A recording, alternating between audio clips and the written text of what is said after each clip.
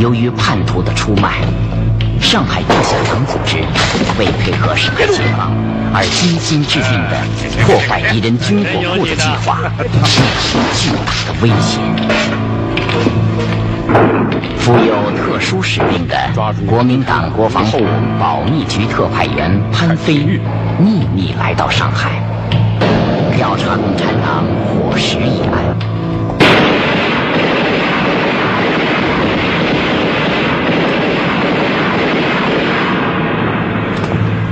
一场扑朔迷离而又险象环生的战斗，杀手的水平太差了，但我知道是谁。谁？你程处长很熟悉。杀手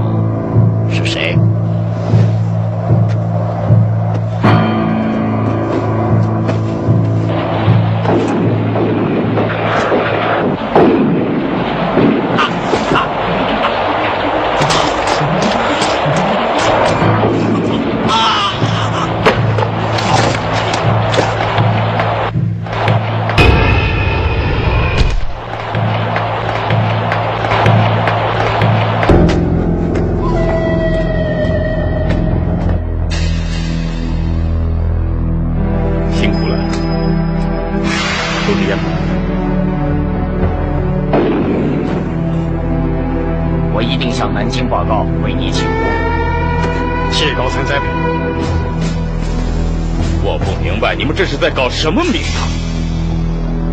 要是炸药质量出了差错，是我负责，还是你程天伦负责？不要说了，我负责。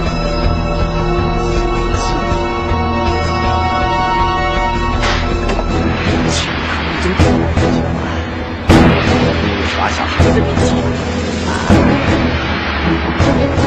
体运炸药是一样。谢军夫的话，你也相信啊？现在我告诉你真相。快，把他干了！是，我马上来。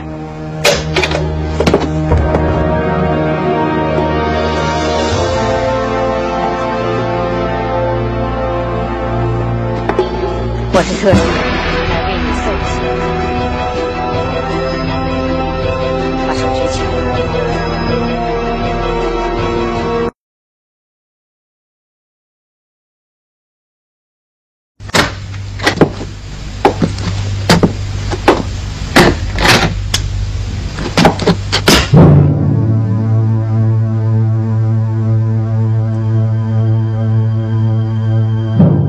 找我算账的。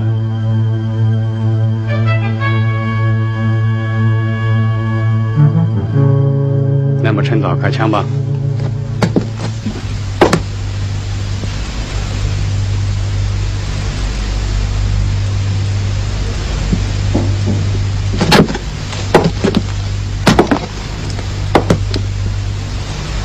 你杀死我不难，可是你要杀死一个南京专员，哼，就没那么容易了。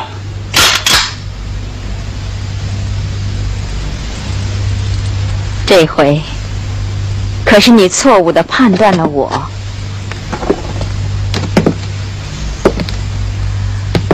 我为什么要杀你呢？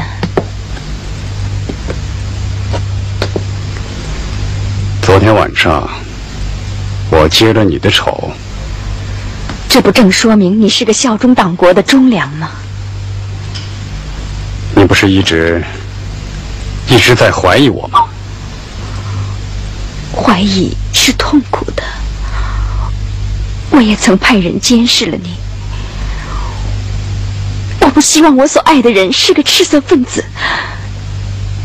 你看，我都向你坦白了，你该原谅我。是吗？是的，现在我更加爱你了。你就是我需要的那种男人，跟我结婚吧，我可以放弃这儿的一切，跟你走，走得远远的。为什么不回答我？请原谅我。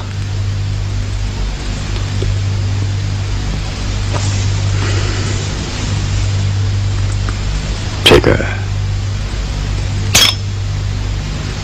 只能物归原主了。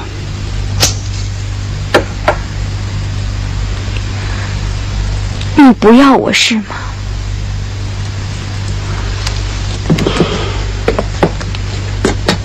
你应该谅解我。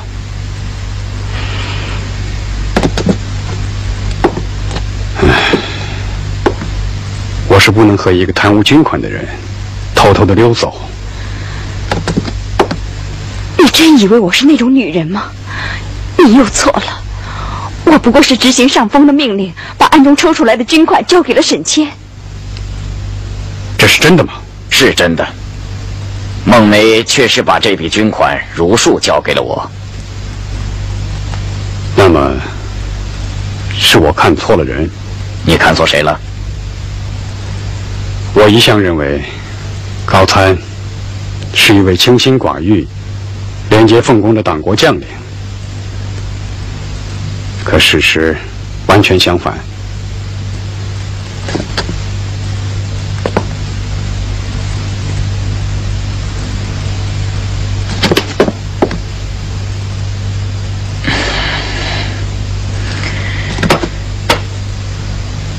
高兴。你没有辜负我的期望，嗯，嗯，现在我可以告诉你，这笔军款也并非落入我沈某的口袋，而是全部运往台湾建造新的军火库了。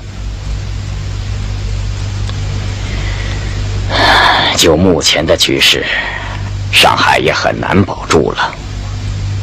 我们不能够把花了这么多的钱建造的军火库白白送给共产党。那为什么上面还要以修军火库的名义拨款到上海呢？这叫稳定军心嘛。孟梅，他只是空落一个罪名。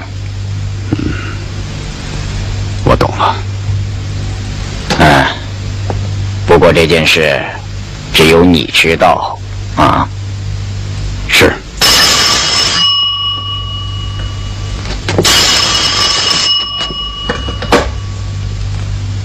喂，啊，是我。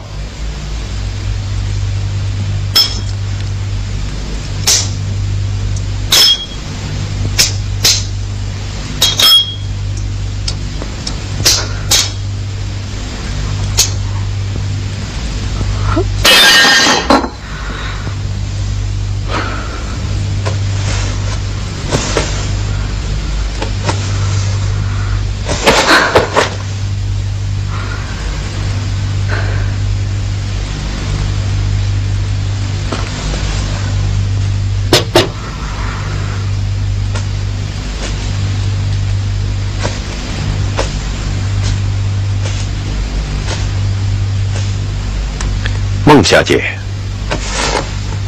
何必呢？嗯？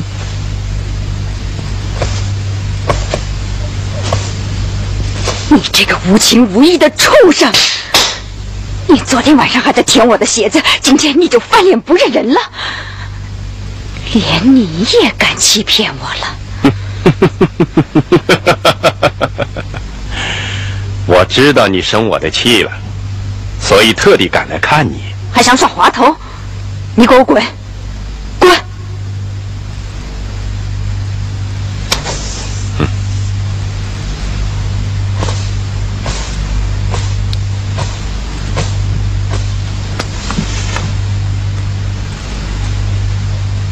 怎么，物归原主了？哼，这我早就料到了。你高兴？你还笑？没有笑脸就莫开我这个店。嗯。这首情诗是潘飞写的卢婷小姐谱的曲你从哪儿弄来的？我需要的我就能得到。在潘飞的眼里只有卢婷，不承认这一点，就是视而不见。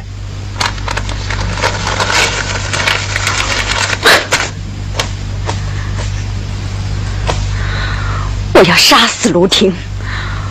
我得不到的东西，他也不想得到。如果把眼前的事看成女人和女人之间的战争，那你就大错而特错。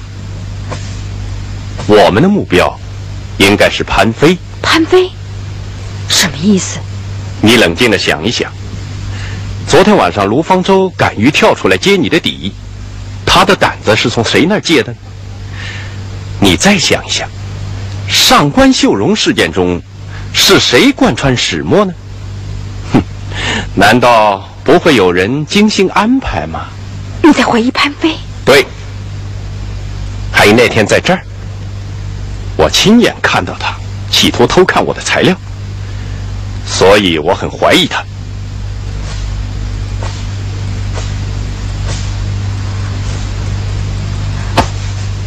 那昨晚上你，我不过是耍了个小小的把戏，先迷惑住潘飞。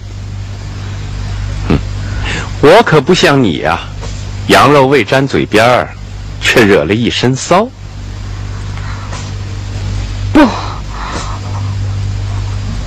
我不能相信。要紧的是，赶紧拿到潘飞的把柄。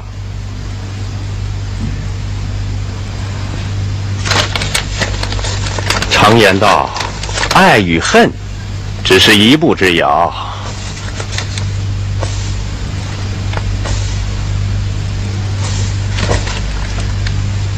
你有绝对把握？有，所以我才来和你商量啊。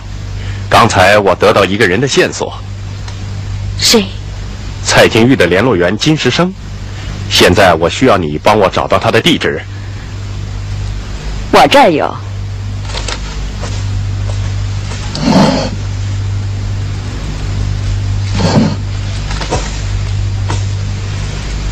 别忘了，我有一张王牌，一直没有停止活动。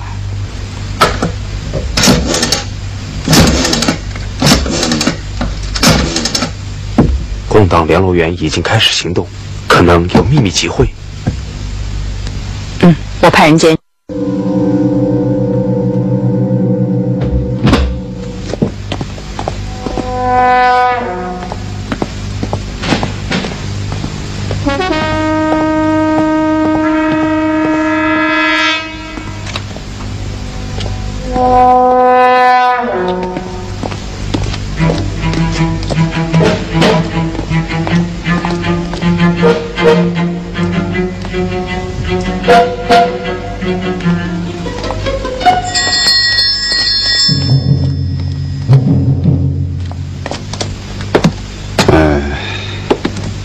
几天，你这儿对伙食的侦查有什么进展吗？没有，我可比不上你潘飞呀。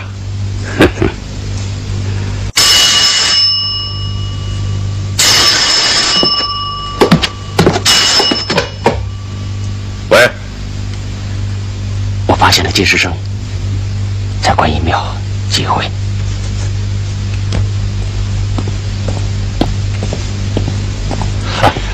金呢？啊，老潘和彩姐马上到这儿开会。是啊，准备一下。好的。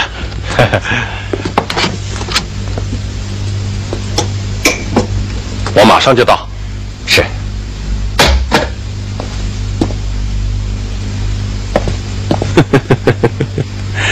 我答应啦，就一定会去的嘛，怎么会骗你呢？君子一言，驷马难追。嗯，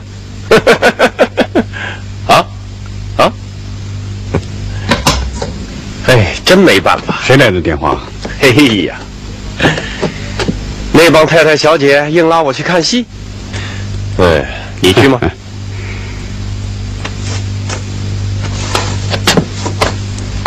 我还有事儿。先走了。好。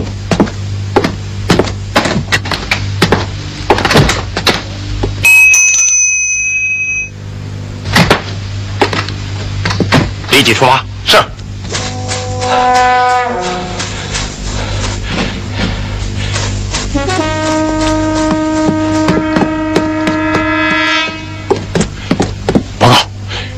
出来。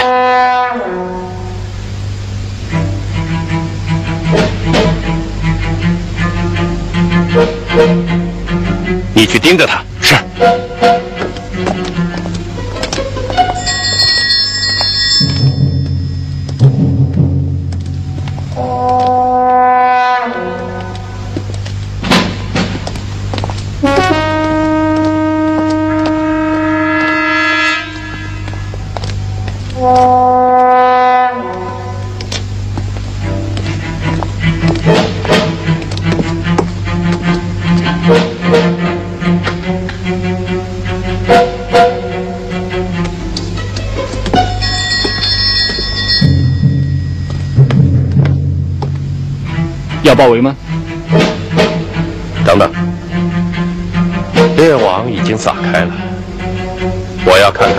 是网中的猎物。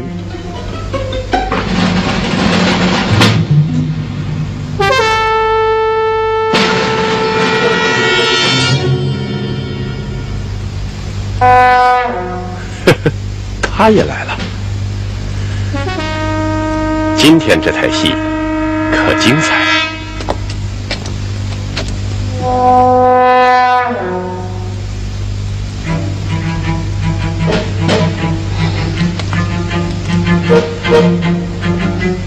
果不出我所料，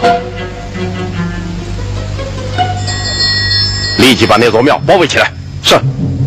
快！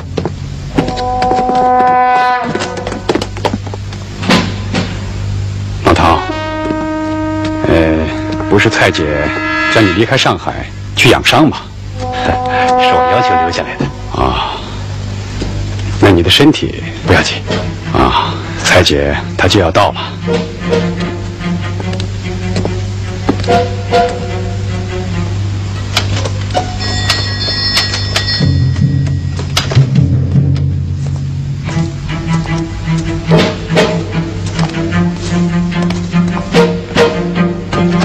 不好，楼下有情况。哦，快把灯拿下来。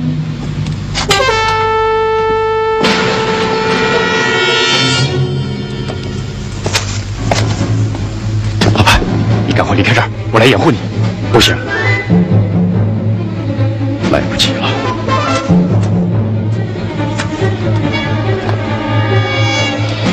要么你把我抓起来，交给他们。不行，不行，老潘，你救我的性命，现在该是我保护你的时候了。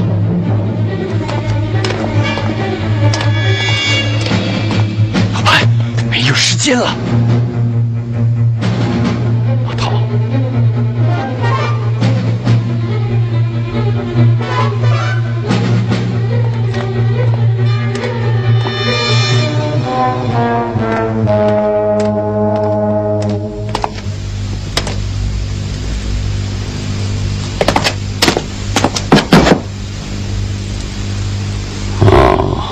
田伦 兄。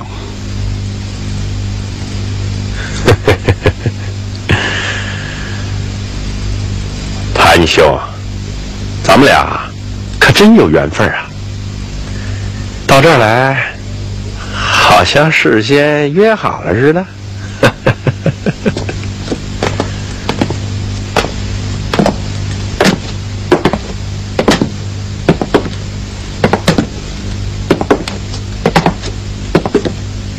兄，这是我先行一步啊。嗯。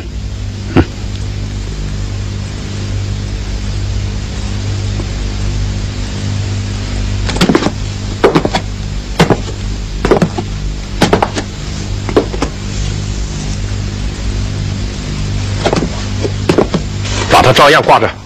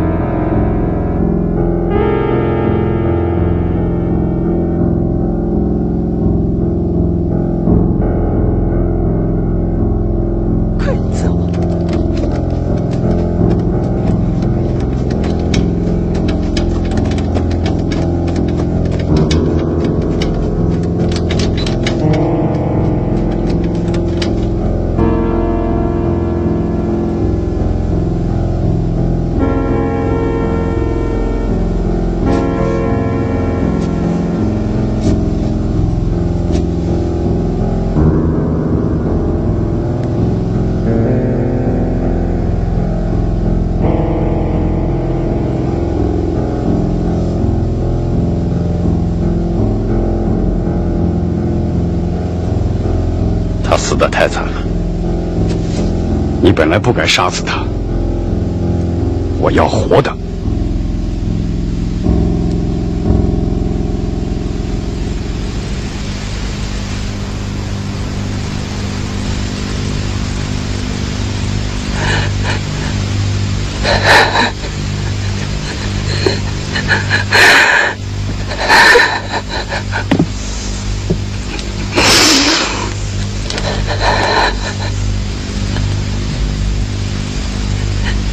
他说过，我们很快就会在一起的。可他的伤还没好，就就去了。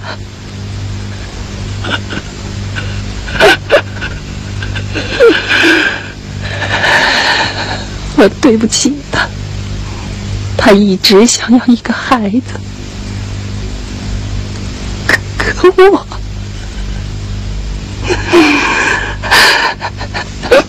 嗯。嗯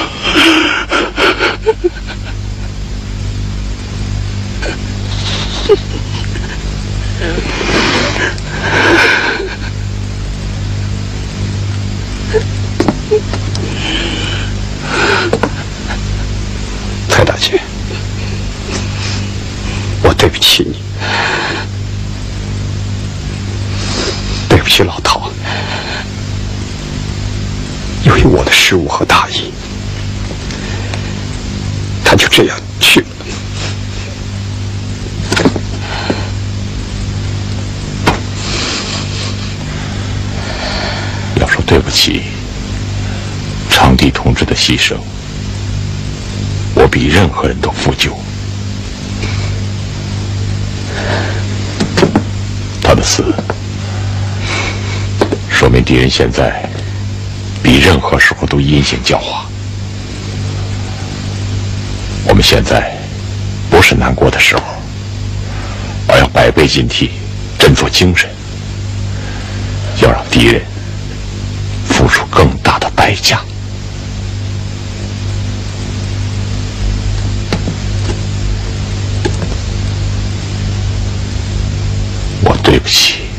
昌帝同志。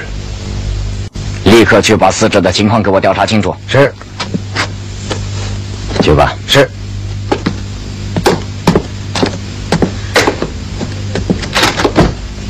我认为目前最要紧的，不是弄清死人，而是活人。谁呀、这次行动，潘飞并不知道。可是他怎么也会出现在那儿呢？难道这是偶然的巧合吗？你对潘飞有怀疑？也许是我的想象力太丰富了，联想起袁超的失踪、老弟的死，特别在调查共党伙食上，为什么每条线索都莫名其妙的被掐断了呢？我不得不有那个想法。潘潘飞现在在什么地方？他留在观音庙勘察现场。立刻派人把潘飞给我找回来。是。找我吗？高参，我回来了。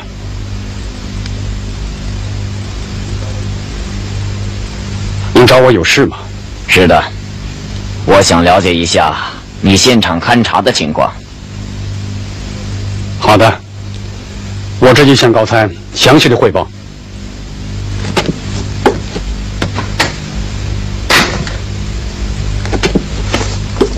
潘兄回来了，辛苦，辛苦了。想必大有收获吧？现场调查，这个地方肯定是共产党继申江大旅社以后新的联络点，而且是刚刚启用就被我们破获了。报告，进来。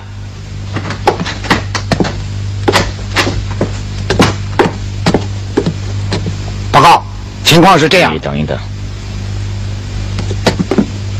潘飞，你接着往下说吧。这是我的现场记录。今天被打死的人叫陶昌地，就是原先驻申江大旅社的共党联络组长蔡金玉的丈夫。他曾经在我们制造的老弟的事件中，扮演老弟这个角色的替身，差一点被共党的人杀了。可是老弟把他杀了。不知怎么回事，他又奇迹般的活了，而且又重新委任为联络员的重任，是这样的吗？是的，完全正确。这是调查报告。嗯。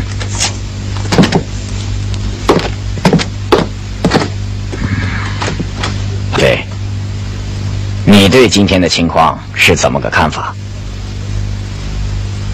要具体分析吗？当然，越详细越好。我认为今天的事件包含着两点：第一，当时的观音庙里将有共党的机会。呃，你怎么知道的？哼哼，理由很简单。那个陶昌地在这种情况底下，之所以冒险逃跑，其目的。是引诱我们开枪，让强生为他们前来开会的同伙报警。然而，你天伦兄操之过急，不听我的劝阻，还是开了枪。这样一来，不仅打死了陶长地，而且还放走了比陶长地更重要的人物。真是无懈可击的分析。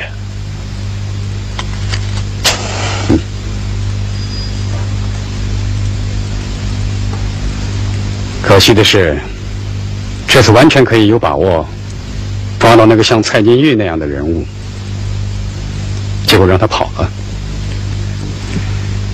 田伦兄的这一失误，不能不说啊，错过了一个可以晋级的良机啊。也许是，不过我想问一句：既然观音庙楼上是共产党的联络据点，而且当时有重要的集会，那么你潘飞兄怎么又会出现在那儿呢？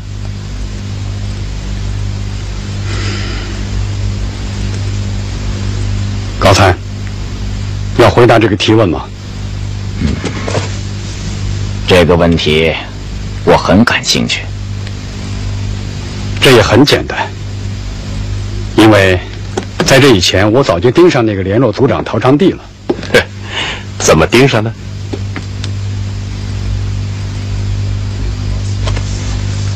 这是前几天的报纸。这种寻人启事是共产党惯用的联络方法。被我发现的那天起，我就一刻也没有停止对陶长地的跟踪。嗯。第二，从金石生与伙食街头差一点暴露，而陶长地又被重新委任为联络员以后。与火石接头的工作，便由陶长地代替了。金石生只不过是共党混淆我们视线的人物。当我想通过陶昌地挖出火石的时候，这条线却被你天伦兄一枪打断了。如果说放走了蔡金玉等重要人物，是您天伦兄一时疏忽的话，打死了陶昌帝，无疑是天伦兄的重大失误。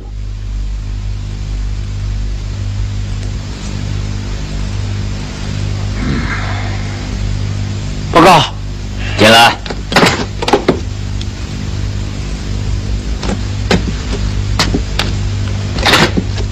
报告，我什么事啊？呃，我我一直盯着那个金石生，后来他钻进了永安公司，一下子就不见了。嗯，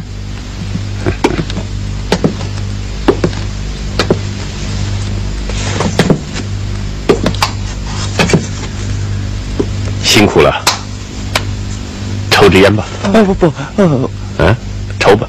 哎谢谢首长。拖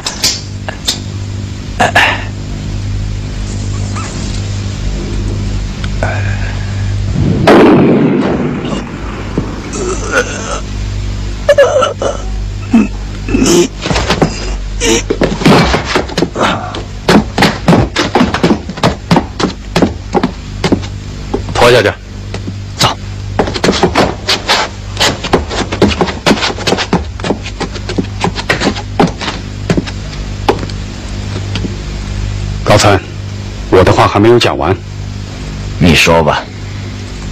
眼下，虽然共产党的联络员的线索已被掐断了，但是我已经找到了蔡金玉的行踪。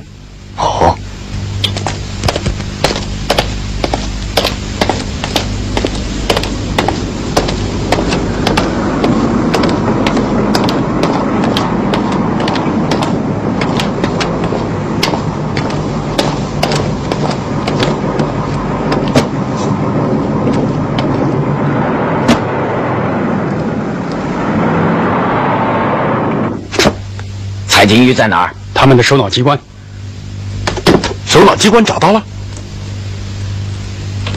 我说过，我想做的，就一定要做到。他们的首脑机关在什么地方？在亚尔培路立中公寓顶楼。照片。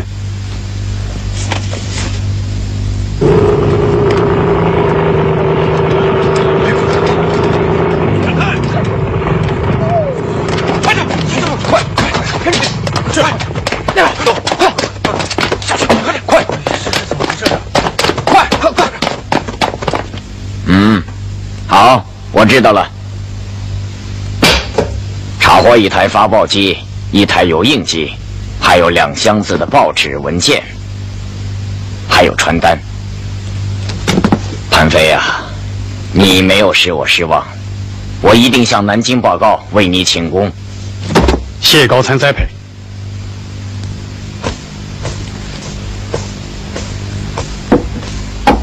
那么，你对潘飞破获共党首脑机关是什么看法呢？只有一种解释，这是潘飞的精心安排。难道查获的东西也是伪造的？东西，东西一点不假呀，只是没有多大价值。可是，单凭这一点，要揭露潘飞，也是很难的。是啊，如果我们从潘飞和卢方舟的微妙关系着手，也许能找到火石的线索。哦，说下去。卢方舟曾经在他女儿面前发誓要离开军火库，而且写下了辞职书。可是时隔没几天，他却一反常态，对军火鉴定如此卖力。这也许是找到火石的线索。卢方舟写过辞职书，你怎么知道？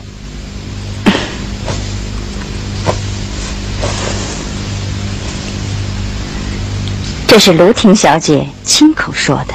我明白了，在这种时候，你最得意的王牌该亮出来了吧？你默默地向我走来，袒露着真诚的胸怀。你匆匆地离我而去，留下了永久的期待。你追求的足迹。用尽了深深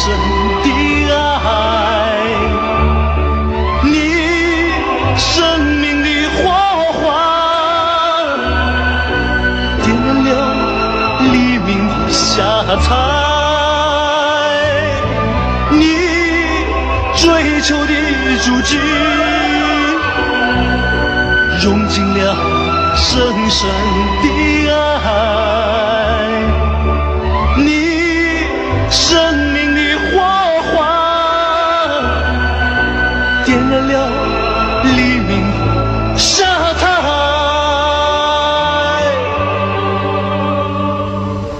你默默地向我走来，袒露着真诚的胸怀。你匆匆地。离我而去，留下了永久的期待。